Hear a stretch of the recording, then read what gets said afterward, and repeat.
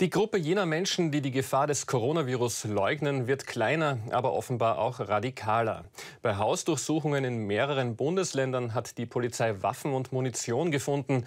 Eine Gruppe verdächtiger Männer hat sich im Internet über Baupläne für Bomben und den Kauf von Waffen unterhalten. Unter anderem wollten sie bei Demonstrationen mit Molotow-Cocktails auf Beamte losgehen. Laut Polizei gibt es Verbindungen zur rechtsextremen Szene.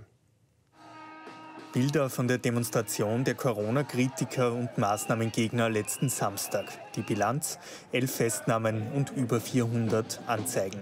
Wie bekannt wurde, hätte es auch schlimmer ausgehen können. Einen Tag vor der Demonstration stellt die Polizei bei Razzien in mehreren Bundesländern Faustfeuerwaffen und Munition sicher. 27 Männer hatten sich in einer verschlüsselten Chatgruppe unter anderem über den Bau von Splitterbomben und Molotow-Cocktails unterhalten, so Innenminister Karl Nehammer. Bei sieben wurden Hausdurchsuchungen durchgeführt.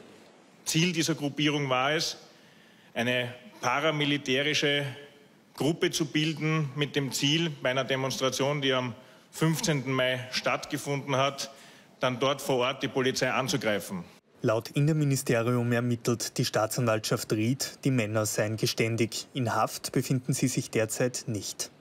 Die hohe Zahl an Sicherstellungen von Munition und Waffen sind für den Terrorismusforscher jedenfalls ein deutliches Alarmsignal. Dass man Exekutivkräfte mit Molotow-Cocktails bewerfen wollte, äh, Spritzpistolen umfunktionieren wollte zu Flammenwerfern, dann verheißt das schon ein sehr konkretes äh, Ziel. Wir sind gerade in dem Bereich leider an der Schwelle zum Terrorismus angelangt. Gegen drei der Hauptorganisatoren der Corona-Demos wird mittlerweile wegen verschiedener Delikte ermittelt, darunter Wiederbetätigung und Widerstand gegen die Staatsgewalt.